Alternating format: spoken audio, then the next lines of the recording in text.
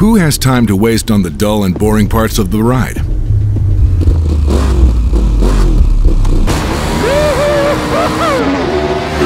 That's why KTM created the radical new 1290 Super Adventure S.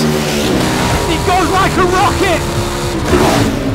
The third generation of leader class adventure models comes with all the innovative features that you would expect in this class. Bumps in the track! He's just soaking it up! So smooth! It's ridiculous.